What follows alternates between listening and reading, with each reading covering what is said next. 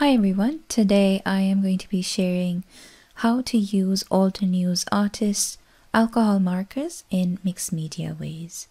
So stay tuned.